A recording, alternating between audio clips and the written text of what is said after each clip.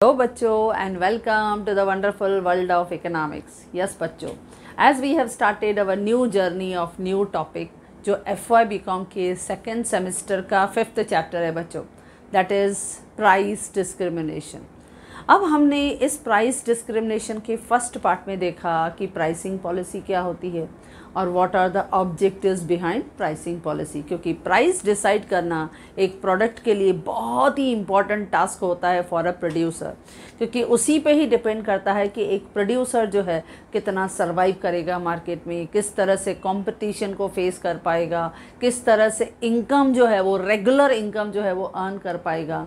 जितना इन्वेस्टमेंट हुआ है, उस पर रिटर्न को रीगेन कर पाएगा कि नहीं। ये सब चीज़ें जो है, वो प्राइसिंग स्ट्रेटजी से डिसाइड होती है। ओके बच्चों, अब इसी चैप्टर का आज हम सेकंड क्वेश्चन ले रहे हैं, जो काफ़ी इंपॉर्टेंट है और वो एट मार्क के लिए डिमांडेड होता है कि what are the different degrees of price discrimination ना ये जो वर्ड है प्राइस डिस्क्रिमिनेशन ये स्पेशल फीचर है स्पेशल क्वालिटी है किसका? मोनोपोली मार्केट का। लेकिन हमें एज यूजल मार्केट में परफेक्ट मोनोपोली तो दिखाई नहीं देती है। हाँ मोनोपोलिस्टिक कंपटीशन जो है या ओलिगोपोली मार्केट सिचुएशन जो है, वो दिखाई देती है बच्चों। और जिसमें प्रोड्यूसर जो है ही विल डिसाइड और determine the independent price policy वो अपनी कॉस्ट के हिसाब से डिसाइड करता है कि कितनी प्राइस वो अपने प्रोडक्ट के लिए डिसाइड करेगा ताकि वो मैक्सिमम कंज्यूमर को मार्केट में अट्रैक्ट कर पाए और मार्केट में एक अच्छे लीडरशिप की पोजीशन जो है, एक अच्छी मोनोपोलिस्टिक की जो पोजीशन है, वो एंजॉय कर पाए। ना जब हम कहते हैं प्राइस डिस्क्रिमिनेशन तो प्राइस डिस्क्रिमिनेशन क्या होता है? प्राइस डिस्क्रिमिनेशन जो एक हमने कहा इंपॉर्टेंट फीचर है, एक मोनोपोली मार्केट का, जिसमें मोनोपोली को हम क्या देखते हैं? कि पूरे इंटायर मार्केट में he is the only single seller in the market जो सप्लाई करता है गुड्स और जिसमें मार्केट में कोई अल्टरनेटिव ऑप्शंस कंज्यूमर के लिए अवेलेबल नहीं है। तो what he did he is the price maker not the price taker वो खुद प्राइस डिसाइड करता है। और इस तरह से प्राइस डिसाइड करता है कि he will enjoy maximum profit in the market और उसके लिए he follows the strategies of price discrimination अब ये प्राइस डिस्क्रिमिनेशन जैसे मैंने कहा different prices from different customer for same goods and services यानी जो गुड्स एंड सर्विसेज़ आप प्रोवाइड कर रहे हो, उसके लिए आप different prices from different customer से चार्ज कर रहे हो। और ये कहीं कहीं पे आपको दिखाई देता है। जैसे हम देखते हैं कि इलेक्ट्रिसिटी सर्विसेज़ है। अब कमर्शियल एरिया है प्राइसेस डिफरेंट है। रेजिडेंशियल एरिया है प्राइसेस डिफरेंट है। स्लम एरियाज़ है प्राइस डिफरेंट है। और अगर फार्मर्स है तो उनको फ्री ऑफ़ कॉस्ट में दिया जाता है। देखो सेम इलेक्ट्रिसिटी लेकिन हर एक के लिए जो है वो प्राइसेस डिस्क्रिमिनेट क्योंकि गवर्नमेंट इज़ द मोनोपोली अब जब स्पेशली रेलवे में हम देखते हैं कि स्टेट मोनोपोली है, अब इसमें भी हम देखते हैं कि जहाँ से डिपार्चर होता है, जहाँ डेस्टिनेशन है, दोनों सेम है. लेकिन फिर भी हम जैसे रेलवे की सर्विसेज़ यूज़ कर रहे हैं जनरल है तो कम लगेगा. फ़र्स्ट क्लास है तो ज़्यादा लगेगा। या आपका अगर हम देखते हैं रिजर्वेशन है तो ज़्यादा लगता है। फ़र्स्ट टायर एसी है टू टायर एसी है तो उसके अकॉर्डिंगली आपसे जो सर्विसेज़ हैं जैसे पे किए जा रहे हैं जैसे रेंडर्ड किए जा, जा, रहे हैं वैसे आपसे प्राइस लिए जा रहे हैं। या हम गैस भी देखते हैं, गैस का एलपीजी का सिलेंडर है। अगर रेसिडेंशियल एरियाज़ में दिया जाता है तो विथ सब्सिडीज़ के साथ रहता है। लेकिन अगर कमर्शियल है तो आपको मालूम है, उनसे कंप्लीट कॉस्ट जो है, वो रिकवर किया जाता है। तो ऐसे प्राइस डिस्क्रिमिनेशन होता है। और वो जो प्राइस डिस्क्रिमिनेशन है, जब एक प्रोड्यूसर फॉलो करता है, ताकि वो मार्केट में बहुत से कस्टमर को सेटिस्फाई कर सके। अब उसकी डिग्रीज़ को सेटिस्फाई किया है, यानी उसकी डिग्रीज़ को एक्सप्लेन किया है हमारे English economist that is A C Pigou ने।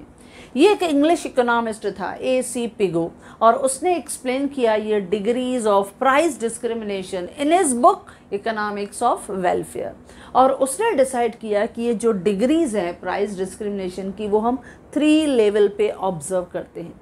तो आज हम यही इंपॉर्टेंट क्वेश्चन को डिस्कस करने वाले हैं बच्चों in a very easy way as you know that simplicity is our main motto now जब हम थ्री डिग्री देखते हैं तो पहला डिग्री होगा first degree of price discrimination first first ये कंसिडर करते हैं कि first degree of price discrimination अब ये क्या है?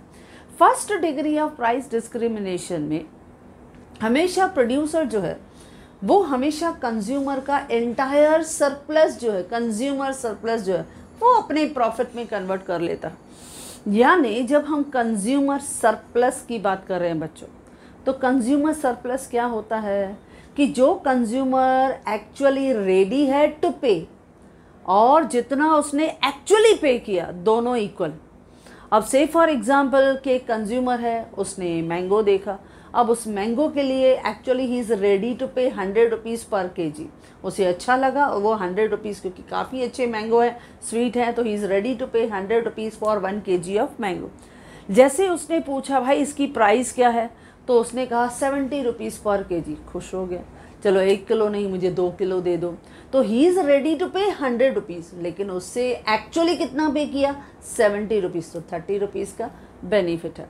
लेकिन यहाँ पे जब हम first degree of price discrimination देखते हैं तो यहाँ पे क्या होता है? कंज्यूमर जितना विलिंग है, जितना रेडी है पे करने के लिए, उतना ही आपका प्रोड्यूसर उसके पॉकेट में से खींच लेता है. यानी उसका कंज्यूमर सरप्लस को भी वो अपने प्रॉफिट में कन्वर्ट कर लेता है. एक्चुअली ये जो अगर हम लोग देखते हैं कि first degree of price discrimination ये थोड़ा रेयर फिनोमेना है, क्योंकि यहाँ पे जो आपका फर्म है, यहाँ पे प्रोड्यूसर है सेलर है he charges different prices from different buyer वो हर बायर से डिफरेंट प्राइजेस जो है वो ले लेता है। अब ये समवेयर इट इज़ पॉसिबल लेकिन ये रेयर दिखता है क्योंकि इसको मिसेस जॉन रॉबिन्सन ने कहा, ये परफेक्ट प्राइस डिस्क्रिमिनेशन है। जो रेयर हमें दिखाई देता है। अब वो कैसे बच्चों, चलो देखते हैं हम इसको।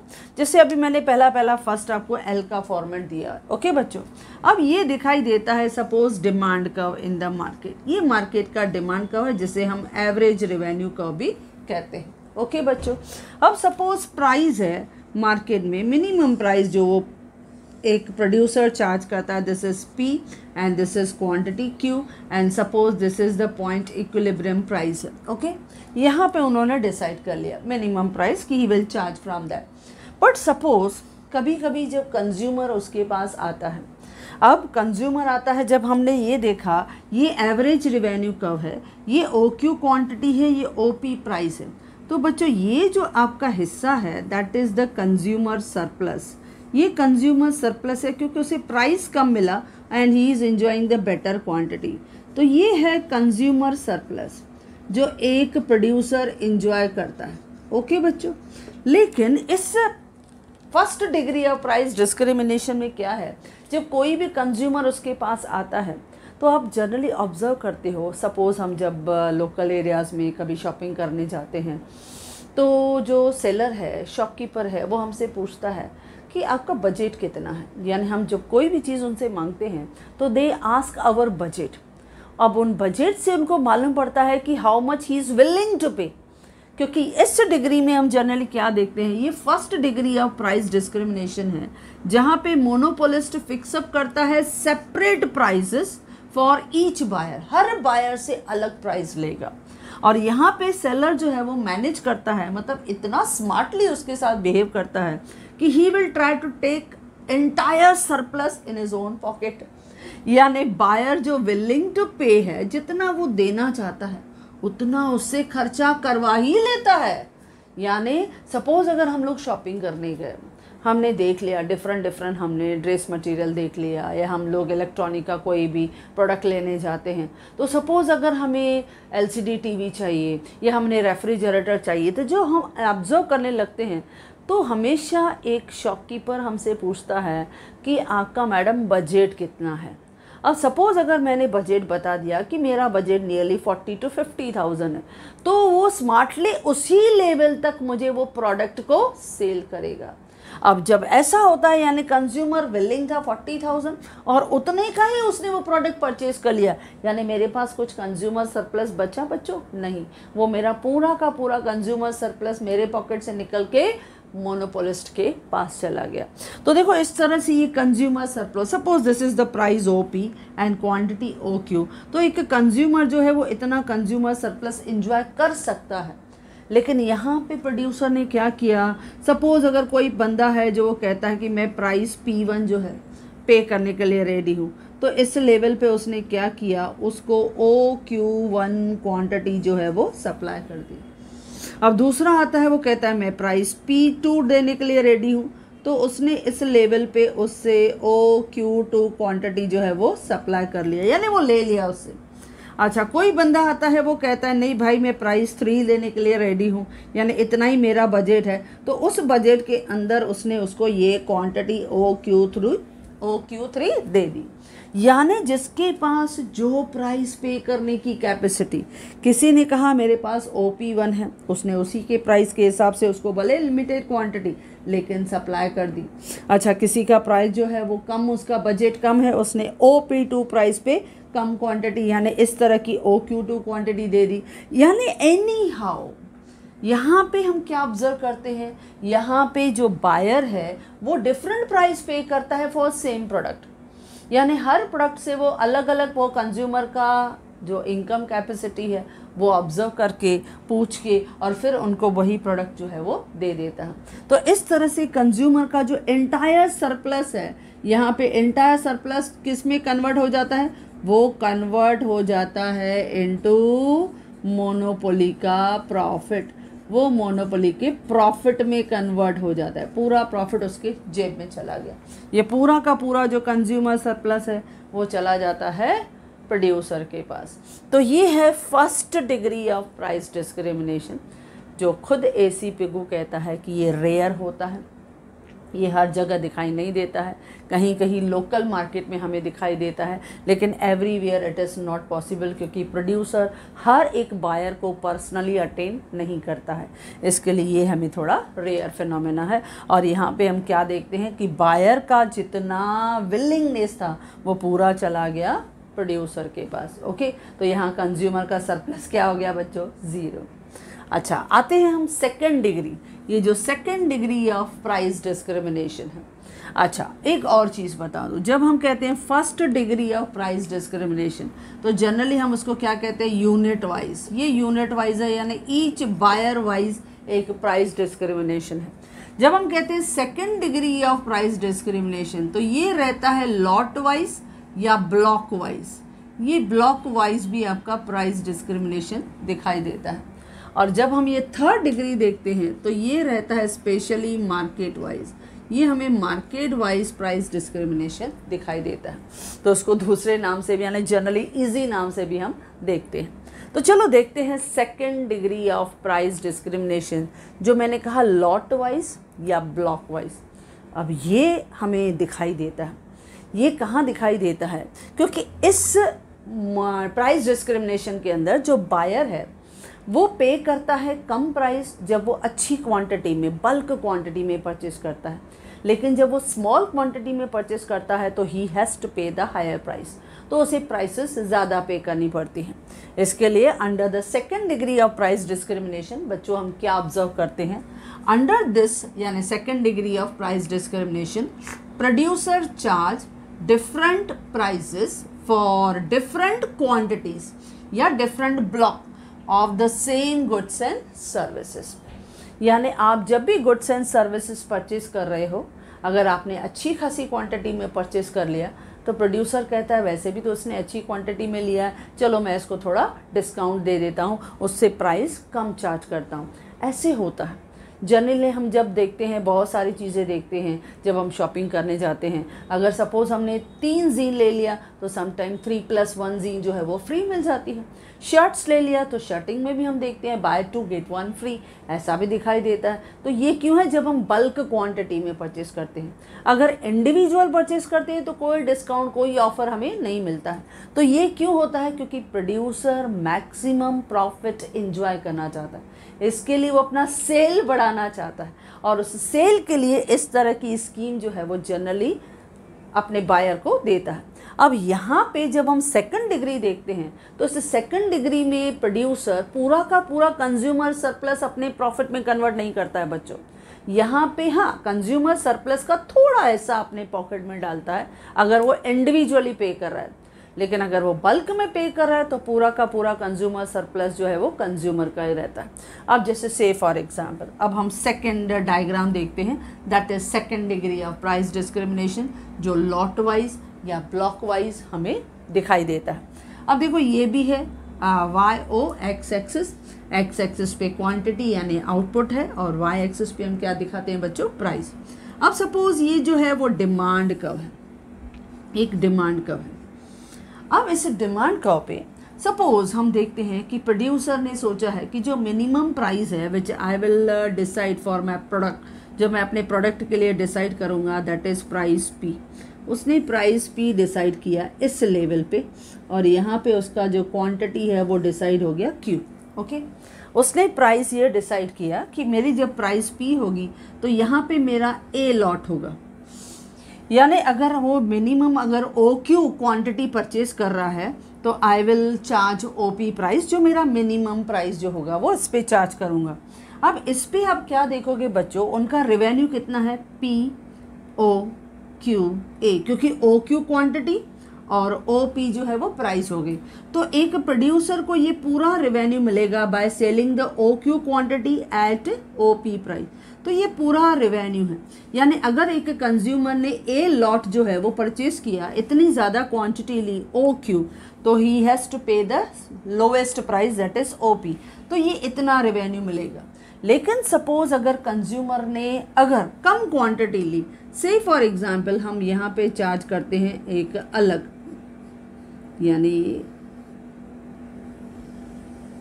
suppose this is the P one और यहाँ पे है क्यू वन अब जब इस तरह का हमें दिखाई देगा कि जब प्राइस जो थी वो पी वन थी और क्वांटिटी फिर क्या थी? स्मॉल थी। तो उससे प्रोड्यूसर ने क्या लिया? ज़्यादा जो है वो ले लिया। अब प्राइस ओ पी थी। यानी इतना जो आपका कंज्यूमर सरप्लस था, वो आप देख रहे हो किसके पास चला गया? वो एक प्रोड्यूसर के पास चला गया, वो उसके पास चला गया। अब ये सिचुएशन हमें फ़र्स्ट एक बायर के सिचुएशन में दिखाई दिया। अब यहाँ पर भी हम पॉइंट को नाम देते हैं। Suppose this is the C lot ये सी लॉट है। Okay okay? अब यहाँ पे उसने क्या देखा? ओ क्यू वन क्वान्टिटी जब उसने स्मॉल क्वांटिटी लिया तो he has paid higher price that is O P one यानी यहाँ पे प्रोड्यूसर ने क्या किया? Limited quantity O Q one higher price O P one पे सेल किया. तो रेवेन्यू कितना हुआ बच्चों? That is O P one C Q Q one ये उसको मिला. लेकिन यहाँ पे कुछ सरप्लस किसके पास चला गया? प्रोड्यूसर के पास चला गया. अब सपोज़ कोई दूसरा एक बंदा आता है, उसे जो है इस प्राइस पे that is P two price पे, यहाँ पे वो देने के लिए है तो यहाँ पे हम देखते हैं सपोज़ ये पॉइंट ये बी लॉट जो है, यहाँ पे हुआ। तो यहाँ पे उसने क्वांटिटी ज़्यादा ली दैट इज़ क्यू टू उसने क्वांटिटी थोड़ी ज़्यादा ली क्यू वन से ज़्यादा क्वांटिटी ली। जब ऐसा हुआ तो यहाँ पे भी ओ क्यू टू क्वान्टिटी तो प्राइस थोड़ी कम कर दी। पी वन से थोड़ा कम, लेकिन मिनिमम प्राइस से थोड़ा ज़्यादा उसने लिया। तो यहाँ पे ओ क्यू टू और प्राइस था ओ पी टू तो आप देख रहे हो, फिर भी आप यहाँ पे इतना सरप्लस जो था, यानी एक कंज्यूमर का ये सरप्लस लेवल जो है, वो भी किसके पास चला गया? प्रोड्यूसर के पास चला गया। अब ये हमें जनरली दिखाई देता है। अगर हम लोग इसको लिख के भी दिखाऊँ बच्चों, में आपको जब हम जनरली ऑब्ज़र्व करते हैं तो एक प्रोड्यूसर जो है, जब वो सेल करता है, यानी किस लेवल पे उसने सेल किया, जब ओ क्यू वन क्वान्टिटी को ओ पी वन पे सेल किया तो रेवेन्यू कितना मिला बच्चों? उसे रेवेन्यू मिला P one O Q one C ये था ए जब उसने सॉरी सी लॉट ये सी लॉट पे हमें दिखाई दिया, जब उसने सी लॉट जो था वो सेल किया. ओके बच्चों? अब उसके बाद उसने दूसरा लॉट किसको दिया? बी लॉट दिया। वो दूसरे पर्सन को दिया। तो उस लेवल पे उसने ओ क्यू टू क्वान्टिटी और ओ पी टू प्राइस पे उसने सेल किया। तो टोटल रेवेन्यू कितना मिला? P two O Q two B तो ये था आपका बी लॉट बी लॉट में हमने क्या देखा? P two then O Q two और बी लॉट ये सेकंड लॉट था। अब सी लॉट भी हम देख रहे हैं। सी लॉट जो उसने लोवेस्ट लेवल पर डिसाइड किया था that is P O Q A तो पी ओ क्यू ए ये उसे मिलेगा ओवरऑल रेवेन्यू ये फ़ायदा होता है प्राइस डिस्क्रिमिनेशन का. इस प्राइस डिस्क्रिमिनेशन में ये जो पूरा शेडेड हिस्सा आपको दिख रहा है बच्चों, ये तो प्रोड्यूसर के पास गया, लेकिन उसका जो बच्चा हुआ हिस्सा था, ये आप देख रहे हो ये? ये जो मैं दिखा रही हूँ शेडेड ये जो हिस्सा है दैट इज़ ग्रीन कलर हिस्सा, ये किसके पास बच गया? ये कंज्यूमर का बच गया। क्योंकि उसने यहाँ पे क्या किया? थोड़ा क्वांटिटी ज़्यादा लिया। उस क्वांटिटी ज़्यादा लेने से ही हैज़ टू पे थोड़ा कम प्राइस उसे कम प्राइस पे करना पड़ा। तो इस तरह से ये हिस्सा प्रोड्यूसर के पास गया। लेकिन ये हिस्सा जो बच गया वो कंज्यूमर ने थोड़ा इन्जॉय किया। इसके लिए हमने देखा कि ये जो second degree of price discrimination था, इसमें थोड़ा हिस्सा मोनोपोलिस्ट खींच लेता है और थोड़ा जो है वो कंज्यूमर इन्जॉय करता है। जनरली हम देखते हैं। बहुत सारे प्रोडक्ट ऐसे होते हैं कि अगर हम लोगों ने बड़ा सा टूथपेस्ट लिया तो उसके साथ छोटा ट्यूब जो रहता है टूथपेस्ट का, वो भी फ्री मिलता है। उसके साथ टूथब्रश रहता है, वो फ्री मिलता है। बड़े ऑयल की बॉटल के साथ, छोटे ऑयल की बॉटल जो है, वो फ्री मिलती है। इस तरह की स्ट्रैटेजीज़ वो लोग यूज़ करते हैं ताकि कंज्यूमर लार्ज क्वांटिटी में परचेस करें। और जनरली जब ये गर्मियों के दिन आते हैं तो हम ऑब्ज़र्व करते हैं मॉल में, अगर बड़ी बॉटल आपने अगर कोल्ड ड्रिंक की ली तो एक के साथ एक फ्री रहती है। वह है ताकि कंज्यूमर ज़्यादा लेके जाए। तो इस तरह की स्ट्रेटजी को वो फॉलो करते हैं, ताकि हम बल्क में बाइंग करें। और जब बल्क में बाइंग होगी तो प्रोड्यूसर की प्रोडक्शन भी तो बल्क में होगी। आप ये ऑब्ज़र्व करो बच्चों, क्योंकि वो स्मार्टली गेम प्ले कर रहा है। क्योंकि जब एक प्रोड्यूसर ज़्यादा सेल कर पाता है यानी ज़्यादा प्रोड्यूस करेगा, जब प्रोड्यूस ज़्यादा करेगा तो he will definitely enjoy economies of large scale production तो वो इन्जॉय करेगा। और ये हमें दिखाई देता है, ये है लॉट वाइज यानी ब्लॉक वाइज जो जितना क्वांटिटी में ज़्यादा परचेस करेगा, उसे कम प्राइस देना पड़ेगा। ओके बच्चों? Great success now third third है हमारा third degree of price discrimination अब ये थर्ड डिग्री ऑफ़ जो प्राइस डिस्क्रिमिनेशन ये बहुत पॉपुलर है बच्चों। और वो पॉपुलर इसके लिए क्योंकि ये भी एक स्मार्ट स्ट्रेटजी है प्राइसिंग की, जो हमेशा मोनोपोलिस्ट फॉलो करता है। क्योंकि अगर वो अपना सेम प्रोडक्ट जो दो अलग अलग मार्केट्स में, यानी यहाँ पे उसका जो सेल है डिस्ट्रीब्यूशन है allocation of goods and services है, वो सेगमेंटेड है डिफरेंट मार्केट्स में। अब जब वो डिफरेंट मार्केट में डील कर रहा है तो उस डिफरेंट मार्केट में भी क्या होगा? वो देखेगा कस्टमर का एज फिर कस्टमर का जो टाइम पीरियड है, जिस समय मैं उसको दे रहा हूँ जोग्राफिकल लोकेशन क्या है, उसको वो कंसिडर करेगा। या उसकी जो इलास्टिक है डिमांड की उस मार्केट में, जो रहेगी, उसके हिसाब से he will decide the prices तो वो डिसाइड कर लेता है। अब जनरली जैसे हम लोग देखते हैं कि मल्टीप्लेक्सेस में जब हम जाते हैं तो अगर वो मॉर्निंग का टाइम रहता है तो आप देखो प्राइसेस कम रहती हैं। लेकिन अगर जब शाम का पीक अवर्स रहता है तो प्राइसेस क्या रहती हैं? हाई रहती हैं। ओके बच्चों, एक तो ये डिफरेंसेस हमें दिखाई देता है। अच्छा जब हम रेलवेज़ की या एयरलाइंस की हम बुकिंग करते हैं, अगर मैंने एडवांस में बुकिंग करके रखा एडवांस में, क्योंकि ये जितने भी प्रोड्यूसर्स हो, होते हैं, वो हमेशा चाहते हैं कि उनके पास जितनी कैपेसिटी है फुल की फुल यूटिलाइज होनी चाहिए। क्योंकि मैं तो ये पूरा का पूरा सर्विसेज़ प्रोवाइड कर रहा हूँ, मेरी कॉस्ट तो सेम रहने वाली है। अगर ये फुल पैक रहेगी फुल्ली बुकिंग रहेगी तो मेरे लिए तो फ़ायदा है। उसके लिए वो क्या करता है? अगर जो एडवांस में बुकिंग करवाते हैं तो प्राइस कम रहती है। इसके लिए आप देखो, बहुत से लोग दो महीना, तीन महीना पहले ही एयरलाइंस में बुकिंग करवा लेते हैं तो सस्ता पड़ता है। लेकिन अगर हम लोग देखो रेलवे में अगर हमें जाना है कहीं इमरजेंसी में तो हम तत्काल बुकिंग करवाते हैं। उसके लिए we are ready to pay the high prices क्यों? क्योंकि मेरी डिमांड जो है, उसकी ज़रूरत जो है, वो ज़्यादा है तो बट नेचुरल मजबूरी का फ़ायदा तो प्रोड्यूसर उठाएगा और हमें ज़्यादा प्राइसेस देनी पड़ेंगी।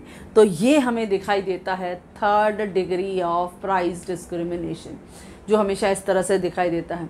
या जैसे हम देखते हैं, बहुत जगह पे सीनियर सिटीज़न अब उनके लिए रिलैक्सेशन होता है।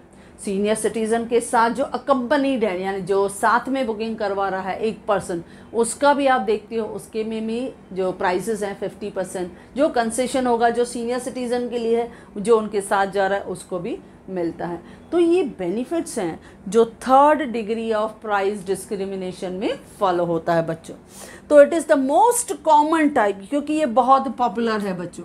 ये बहुत popular type of price discrimination है, जहाँ पे एक फर्म जो है वो डिवाइड करता है इसका total output into many sub markets मैंने पहले कहा, वो पूरे मार्केट को सेगमेंट्स में डिवाइड करता है in sub market and set the different prices in each market her market के लिए डिफरेंट प्राइसेस डिसाइड करेगा। क्यों?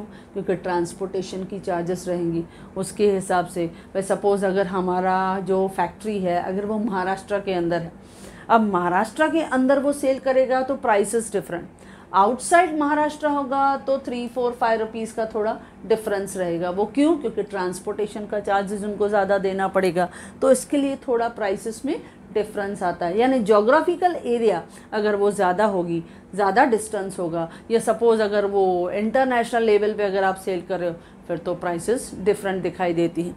तो इस तरह से हमें दिखाई देता है ये third degree of price discrimination तो फिर से बच्चों it is the most common type of price discrimination where firm divide its total output in many sub markets बहुत से मार्केट्स में सेगमेंट्स में हम डिवाइड करते हैं और सेट करते हैं, यानी फिक्स करते हैं different prices in each market related to its elasticity जहाँ इन इलास्टिक डिमांड है प्राइस ज़्यादा। जहाँ इलास्टिक है प्राइस कम। हम प्रूव करेंगे। And for the allocation of output and monopolist follow the principle of equi marginal revenue यानी overall मुझे रेवेन्यू इक्वली मिलना चाहिए। यानी जहाँ प्राइस हाई है, उसे मालूम है क्वांटिटी कम बिकेगी। जहाँ प्राइस कम है क्वांटिटी ज़्यादा बिकेगी। तो ओवरऑल जो रेवेन्यू होगा, वो वर्क करेगा on the principle of equi marginal revenue अब कैसे बच्चों? चलो देख लेते हैं लेट्स सी अब से फॉर एग्जांपल ये एक डिमांड का है। ओके बच्चों? ये एक डिमांड का ओके अब इस डिमांड का में सपोज़ ये पॉइंट हम देख रहे हैं। इस पे जो मार्केट है फ़र्स्ट मार्केट ये फ़र्स्ट मार्केट है। अब इस फ़र्स्ट मार्केट की जो डिमांड है, वो कैसी है बच्चों? Elasticity of demand is less than one यानी रिलेटिवली इन इलास्टिक डिमांड तो देख रहे हो प्राइस आपकी जो है वो ज़्यादा है, लेकिन क्वांटिटी क्या है बच्चों? कम। देखो प्राइस ज़्यादा, लेकिन क्वांटिटी कम। तो एक प्रोड्यूसर को इस फ़र्स्ट मार्केट से कितना रेवेन्यू मिलेगा? जो फ़र्स्ट मार्केट था उसमें से रेवेन्यू मिलेगा उसे ओ क्यू क्वान्टिटी को सेल किया ओ पी प्राइस पे। तो रेवेन्यू मिलेगा पी ओ क्यू और सपोज़ यहाँ पे मैंने दिखाई दिया ई e. ये है फ़र्स्ट इक्विलिब्रियम ई e, ये इतना मिला। अब उसमें जो सेकंड मार्केट है उसका भी रिवेन्यू देख लेते हैं। सपोज़ ये सेकंड मार्केट है। ये हमारा सेकंड मार्केट अब सेकंड मार्केट में जो इलास्टिक ऑफ़ डिमांड है, वो है ग्रेटर देन वन जब ऐसा सिचुएशन है तो यहाँ पे प्रोड्यूसर क्या डिसाइड करता है? यहाँ डिसाइड करता है कम प्राइस लेकिन जैसे ही प्राइस कम किया तो इस मार्केट में उसका जो क्वांटिटी है, वो ज़्यादा बिकता है. अब इस मार्केट का रेवेन्यू आप देखो बच्चों क्वांटिटी ज़्यादा ओ क्यू वन प्राइस कम पी वन तो टोटल रेवेन्यू है ये रेक्टेंगल जो हमें दिखाई देगा ई e वन पे. तो P one O Q one E one तो देखो आपका रेवेन्यू जो है, वो उसका ऐड होके एड ऑन होके मिलेगा। क्योंकि इस सेकंड मार्केट में उसका क्वांटिटी ज़्यादा, भले प्राइस कम क्वांटिटी ज़्यादा तो रेवेन्यू ओवरऑल सिमिलर मिलेगा, जितना यहाँ मिलेगा। क्योंकि यहाँ प्राइस ज़्यादा था, लेकिन क्वांटिटी कम। तो जितना उसे रेवेन्यू यहाँ मिलेगा similar revenue he will try to gain from the another market क्योंकि यहाँ पे उसका जो डिमांड है वो इलास्टिक है। अब इसकी वजह से उसने प्राइस कम किया। ऐसा होता है। हम करने वाले हैं। ऐसे हम एक डंपिंग मार्केट देखेंगे और उस डंपिंग मार्केट जो इसी चैप्टर का एक इंपॉर्टेंट हिस्सा है। अब से फॉर एग्जांपल ऐसी स्ट्रेटेजी देखते हैं। अब से फॉर एग्जांपल टाटा इंडस्ट्री है। अब टाटा इंडस्ट्री को हम जानते हैं। He is enjoying suppose monopoly power in India का मार्केट तो इंडिया के मार्केट में उसने प्राइस ज़्यादा रखा ओ पी और क्वांटिटी बिकी कम दैट इज़ ओ क्यू ये इंडियन मार्केट की बात है। लेकिन अगर सपोज़ वही strategy same product he is trying to you sell in the US का मार्केट अगर वो वही सेम प्रोडक्ट यूएस के मार्केट में बेचेगा तो वहाँ पे यूएस के मार्केट में Tata industry will get the competition from the various rivals बहुत से कॉम्पिटिटर्स होंगे जो अलग अलग कंट्रीज़ को बिलोंग करेंगे। अब उस मार्केट में जब लार्ज नंबर ऑफ़ सेलर्स है तो कंडीशन क्या हो जाती है? परफेक्ट अब वो वहाँ पे डिमांड क्या हो जाएगी? इलास्टिक अगर उसकी प्राइस कस्टमर को सेटिस्फाई नहीं करेगी तो बट नेचुरल क्या होगा? Customer will leave the product तो इन दैट फॉरेन का मार्केट एक प्रोड्यूसर क्या करेगा? अलग सेगमेंट में जा रहा है, जहाँ इलास्टिकसिटी जो है, वो डिफरेंट है फ्रॉम द लोकल मार्केट तो वो क्या करेगा? प्राइस को कम कर देगा। अब प्राइस को कम करेगा then only he will be able to sell the more unit तो इस तरह की स्ट्रेटजी भी हमें दिखाई देती है। This is called the third degree of price discrimination जिसे हम क्या कहते हैं? मार्केट वाइज फ़र्स्ट डिग्री को हमने कहा यूनिट वाइज, सेकेंड डिग्री को हमने कहा लॉट वाइज या ब्लॉक वाइज, थर्ड डिग्री को हम कहते हैं मार्केट वाइज। जैसा जैसा मार्केट का कंडीशन, सिचुएशन, उस सिचुएशन के हिसाब से producer will set the price और ऐसे वो सेट करेगा ताकि पूरा टाइम उसका प्रोडक्ट जो है किसी न किसी एरिया में, किसी न किसी कंज्यूमर को सेटिस्फाई करे और उसका मैक्सिमम सेल हो और maximum revenue he will earn okay बच्चों तो ये हैं three degrees of price discrimination जो हमने डिस्कस किया। ओके बच्चों so if you like this video you can share with your maximum friends and if you want my hand written notes the link is given in the description box thank you